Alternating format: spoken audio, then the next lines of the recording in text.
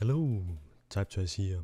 In today's video I'll be showing you how to convert text into shapes and how you can customize it in Illustrator. So without further ado, let's get right into it.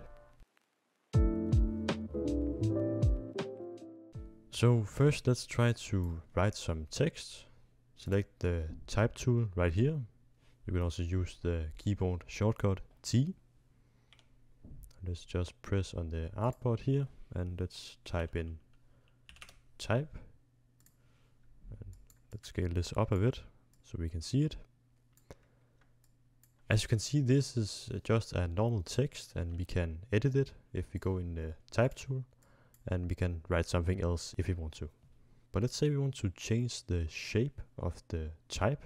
You would think that you could select the points in the type if you select the direct selection tool and just press on the points right here, but you can't. And it's not the same if you, for an example, have a circle and you want to change the points.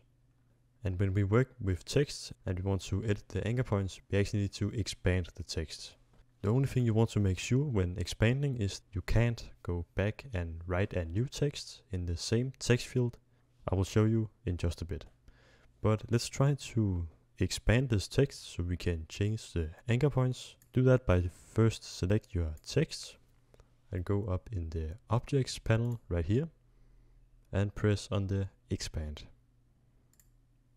Now you'll get this menu right here and you can see that the object and fill is checked. That's just fine. Let's just go down here and press OK. And just like that, the text is now expanded. And as you can see, if we try to select the type tool again and try to click on the text, we now can't edit the text because it's expanded and it has created the text into shapes instead. It's a great idea to make a copy of your text before you expand it, so you always can go back and change it later if it's necessary. Now we can actually customize and edit the text we just expanded.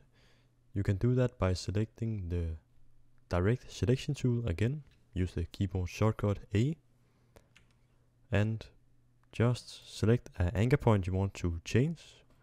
Let's select this one, and you can now drag it up if you want to extend it Let's try another one. We can take this and drag it a bit down. And as you can see, you can now start to customize the text as you would like. And let's take this E for an example. And we want to make this line straight right here. You can now select the anchor point and hold shift while dragging. And it's now a straight line as you can see.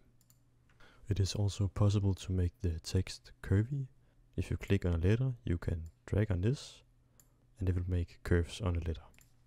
It is also possible to add shapes into the text. So if you, for example, use the pen tool, you can draw something and create it as a part of the text. I'll just play a quick time lapse of how you can customize the text.